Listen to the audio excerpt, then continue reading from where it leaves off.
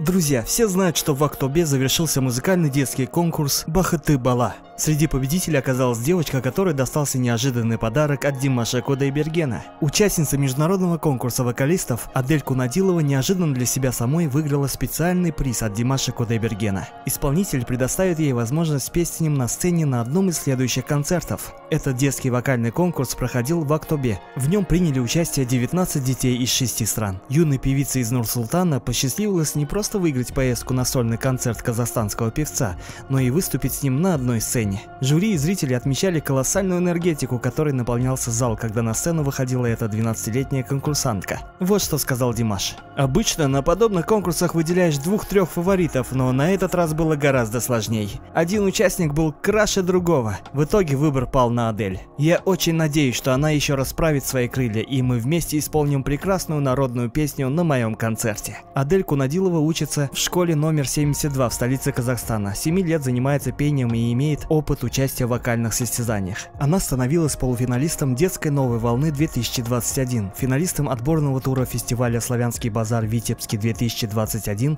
и лауреатом второй степени международного вокального онлайн-конкурса «Истоки 2021». Еще раз поздравляем модель. Всех обнял!